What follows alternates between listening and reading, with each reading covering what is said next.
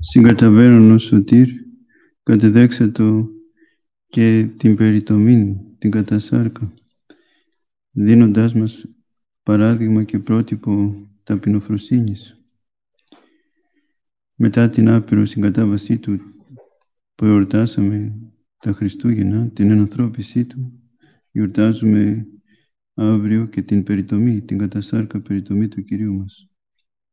Όλα τα κατεδέχθη ο Κύριος για να μας σώσει, για να μας διδάξει τον δρόμο της σωτηρίας και τέλος έπαθε ο ίδιος για να σχίσει επάνω στο σταυρό το χειρόγραφο των αμαρτιών μας.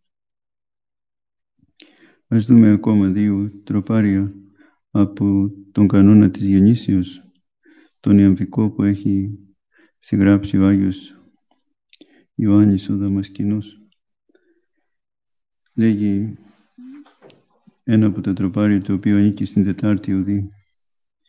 Έθνη τα πρόσθεν τη φθορά πεπισμένα, όλεθρον άρδιν δυσμενούς πεφευγότα.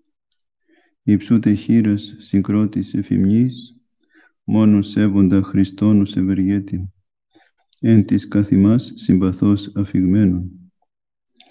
Τα έθνη λέει, τα οποία προηγουμένως ήταν βυθισμένα στη φθορά και στην αμαρτία, τώρα πλέον ξεφεύγουν τον όλεθρο και την καταστροφή εξαιτίας της ανθρωπίσεως του Κυρίου και της σωτήρας οικονομίας Του. Εσείς λοιπόν ο έθνη που ξεφύγατε αυτή την καταστροφή, λέγει ο Άγιος Υμνογράφος, υψούτε χείρας, συγκρότης, εφημνής, κροτήστε, χειροκροτήστε και ψάλατε εις τον Θεό. Σέβοντα μόνο τον Χριστό ως ευεργέτη, ο οποίος ήρθε στη γη συμπαθός για τη δική μας σωτηρία. Και ερμηνεύει ο Άγιος Νικόδημος και λέγει με αυτό το τροπάριο επιστρέφει τον λόγο ο Θεσπέσιος Μελωδός στα εσκοτισμένα έθνη, στους ιδωλατρικούς λαούς, οι οποίοι ήταν μέσα στο σκότος της πλάνης και της αμαρτίας. Και παίρνει από τον προφητά Νακτά Δαβίδ την προφητεία που λέει «Πάντα τα έθνη κροτήσατε χείρας, αλλά αλλάξετε το Θεό εν φωνή αγαλιάσεως». Δηλαδή όλα τα έθνη χειροκροτήστε και φωνάξτε με φωνή αγαλιάσεως δυνατά εις τον Θεό. Και ο μελωδός παρακινεί και αυτός στα ίδια έθνη στο να χαίρουν και να εφραίνονται. Γιατί σημείο υπερβαλούσης χαράς είναι ο κρότος των χειρών, το χειροκρότημα, όπως λέει ο ευθύμιος Ζυγαδινός. Έτσι, αντί του σημενωμένου της υπερβαλούσης ψυχικής χαράς, λαμβάνεται το σημείο, ο κρότος των χειρών.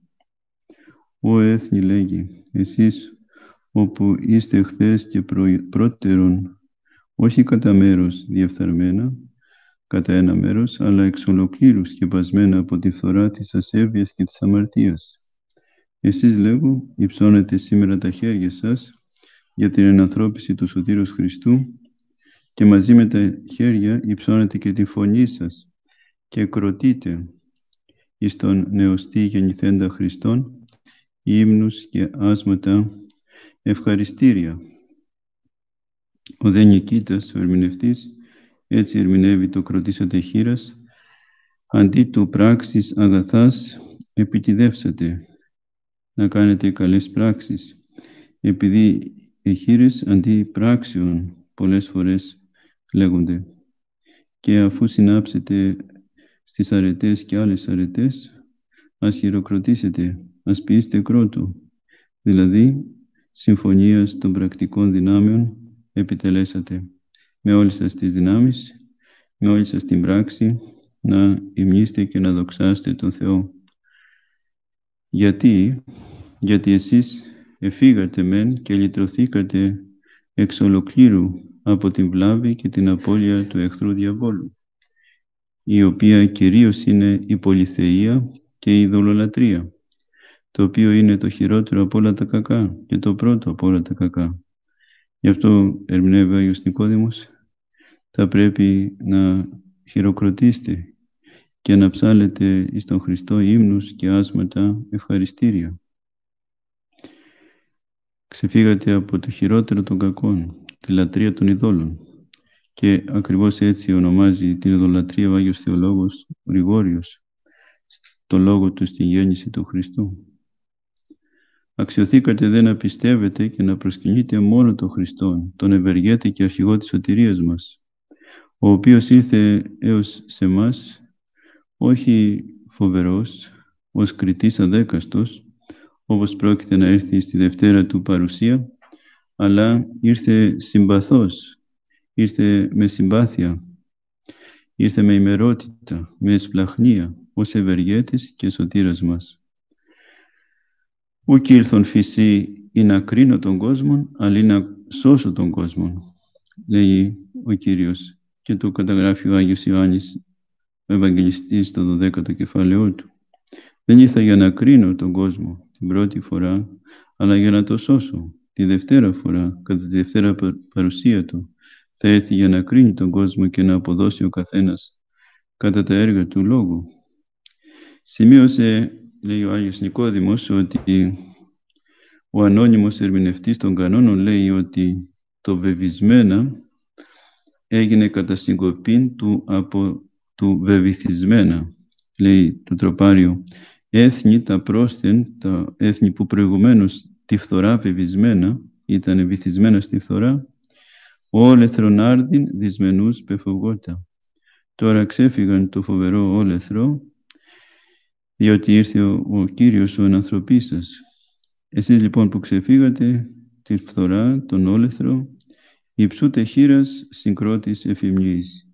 Χειροκροτείτε και προσφέρετε ύμνους ευχαριστηρίους μόνο σέβοντα Χριστόν ως ευεργέτην και σέβεται, σέβεστε μόνον τον Χριστό και σε αυτόν αποδίδεται την ευχαριστία γιατί αυτός είναι ο ευεργέτης ο οποίος εν της καθημάς συμπαθώς αφηγμένων αφήχθη, ήρθε σε μας με συμπάθεια. Το βεβισμένα λοιπόν είναι κατά συγκοπή από του βεβηθισμένα. Γιατί όπως λέει ο ανώνυμος ερμηνευτής των κανόνων, τρία είναι τα πάθη των λέξεων. Αφαίρεσης, συγκοπή και αποκοπή. Η μεν αφαίρεσης είναι άρσης συλλαβής, η οποία γίνεται κατά την αρχή της λέξης. Κόβεται δηλαδή μια συλλαβή από την αρχή της λέξης. Για παράδειγμα, εμού οίκουσας και οίκουσάς μου. Αφαιρείται γάρ η ε συλλαβή. Συγκοπή δε είναι άρσης ή κατά το μέσο της λέξης γινωμένη, όπως όρμενος αντί ορμημένος, βεβισμένος αντί βεβηθισμένος. Αποκοπή δε είναι άρσης κατά το τέλος γινωμένη της λέξης. Ήον υδρό, κικαιό, αντί υδρότα, κικαιώνα και άλλα όμοια. Ο Άγιος Ιωάννης λοιπόν ο Μελωδός, ο Δαμασκηνός, αντί να πει βεβηθισμένα, είπε βεβισμένα, Στενοχωρηθεί σε ένα μεν, διότι κατά το δωδεκασύλλαβο του στίχου το βεβηθισμένα είχε μια συλλαβή περισσότερο και άλλο διότι αυτό δεν ευωδούτο κατά το μέτρο. Για λόγους λοιπόν ποιητικής τέχνης κάνει ε, αυτή την αλλαγή στη λέξη, δηλαδή συγκόπτει τη λέξη, αφαιρεί από το μέσο μία συλλαβή και αντί για βεβηθισμένα λέγει βεβισμένα. Ας δούμε και το επόμενο τροπάριο. Ρίζης φυΐσα του Ιεσέ Παρθένε, όρους παρήλθες των βρωτών της ουσίας. Εσύ που ανεβλάστησες από τη ρίζα του Ιεσέ, υπεραγία Θετό και Παρθένε, ξεπέρασες όλους τους όρους της ουσίας των βρωτών των ανθρώπων. Πατρός τεκούσα των προαιώνων λόγων, γιατί γέννησες των προαιώνων λόγων που προήλθε εκ του Πατρός. Ως ευδόκησεν αυτός εσφραγισμένη νηδήν διελθήν, τι κενώσει τη ξένη. Και τον εγέννησες όπως αυτός ευδόκησε να περάσει μέσα από την άχρη των κοιλία σου και να την αφήσει ανέγγιχτό εσφραγισμένη με την παράδοξο κένωσή του. Αυτό το τροπάριο το προσφωνεί ο Άγιος Ιωάννης ο Δαμασκηνός, λέγει ο ερμηνευτής ο Άγιος Νικόδημος, στην Θεοτόκον. Επιστρέφοντας το λόγο προς αυτήν, λέει, «Ω Παρθένε, η οποία εξ ανθρώπων μεν εγεννήθης, κατά τους νόμους της ανθρωπίνης φύσεως. Η Παναγία μας δεν γεννήθηκε υπερφυσικά, αλλά φυσικά, όπως όλοι οι άνθρωποι. Αλλά όμως έχει μέσα της κάτι θαυμαστό, τρία θαυμαστά, η γέννησή της. Εγεννήθης ο Παρθένε πρώτον εξ επαγγελίας, κατόπιν υποσχέσεως του Θεού. Δεύτερον, εξ στήρων γονέων και τρίτον, εκ γυγραλαίων γονέων, τα οποία και τα τρία είναι υπέρ τους νόμους της φύσεως. Εσύ Παρθένε βλαστήσασα από τη ρίζα του Ιεσέ, από τη φυλή του Ιούδα και από το βασιλικό γένος του Δαβίδ, από το οποίο ήταν υπόσχεση θεία να γεννηθεί ο Χριστός, γιατί ο Ιεσέ καταγόταν μεν από τη φυλή του Ιούδα, ήταν δε πατέρας του Δαβίδ. Εσύ λοιπόν ευλάστησες από τη ρίζα του Ιεσέ. Εγεννήθης από αυτήν τη ρίζα και υπερεύεις όλα κοινώστα οροθέσια, όλους τους όρους και όλα τα μέτρα της ουσίας και της φύσεως των ανθρώπων. Πώς και διότι όρους παρήλθες των βρωτών της ουσίας, επειδή εγέννησες πρώτον χωρίς πόνους και δεύτερον χωρίς φθορά, τον προαιώνιο και ενυπόστατον λόγων του Θεού και Πατρός, για την υπερβολή της κατά ψυχή και σώμα καθαρότητός σου. Έτσι αυτός ο ίδιος ο λόγος του Πατρός ευδόκησε να γεννηθεί αυθόρος από εσένα και να διαπεράσει απαθώς την ειδική σου κοιλία όπως η ακτίνα του ηλίου διαπερά απαθώς τον κρίσταλο. Την άφησε λοιπόν εσφραγισμένη και κεκλεισμένη χωρίς να διαλύσει καθόλου τα κλήθρα της παρθενίας σου με την παράδοξο και υπερφυσική του κένωση, συγκατάβαση γιατί είναι άρρητος, δεν μπορεί να λεχθεί ανίποτος, αληθινά και ανερμήνευτος ο τρόπος της εξού του μονογενούς Υιού του Θεού γεννήσεως. Γι' αυτό και στο άσμα, ασμάτων, από τον νυμφίο καλείσαι, εσύ ο Παρθένε, κήπος και κλεισμένος, αδελφή μου νύμφη, κήπος και κλεισμένος, πηγή εσφραγισμένη λέει στο τέταρτο κεφάλαιο τους άσματος, των ασμάτων. Ως ευδόκησε αυτός ο Θεός Λόγος, λοιπόν, εσφραγισμένη αφήκεν την ειδήν της Θεοτόκου, νηδήν διελθήν, τη κενώση τη ξένη. Γιατί ονομάζει ξένη την κένωση του Θεού Λόγου, ο Άγιος Μελωδός, διότι κατά τον ανώνυμο ερμηνευτή αυτός άνθρωπος γενόμενος τέλειος, αυτό που ήτανε έμεινε, δηλαδή θέλιο, Θεός τέλειος, αυτό που ήταν. Αλλά συγχρόνως έγινε και τέλειος άνθρωπος, αυτό που δεν ήταν. Και φύλαξε και της κάθε φύσεως την ιδιότητα. Της μεν θεότητός του η ιδιότητα ήταν το θέλω καθαρίστητη, θέλω να καθαριστείς, που είπε ο Κύριος το λεπρό, ως Θεός το είπε, ή το είπες Αιγύρου, που είπες στην κόρη του Ιαΐρου, το έγειρε και άρο τον κραβατό σου και περιπάτη, το οποίο είπες στον παράλυτο, το Λάζαρε δεύρο έξω και το αφέονται εσύ οι αμαρτίες σου και τα άλλα θαύματα. Όλα αυτά ήταν ιδιότητες, ήταν ενέργειες της θεότητός του.